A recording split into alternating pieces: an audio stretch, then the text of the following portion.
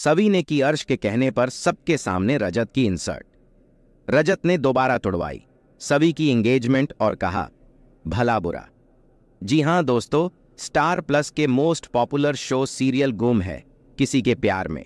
के आने वाले एपिसोड काफ़ी ज़्यादा दमकेदार होने वाले हैं, जहाँ पर आप लोगों को देखने को मिलेगा कि सभी के पास उसका फ़ोन आता है, जिसने सभी की न्यूज़ को पोस्ट किया था।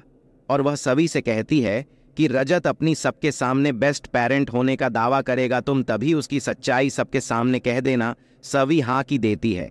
और जब रजत सबके सामने कहता है तो सभी कहती है, यह आदमी बिल्कुल ही घटिया है, इससे अपनी बेटी भी नहीं संभाली जाती।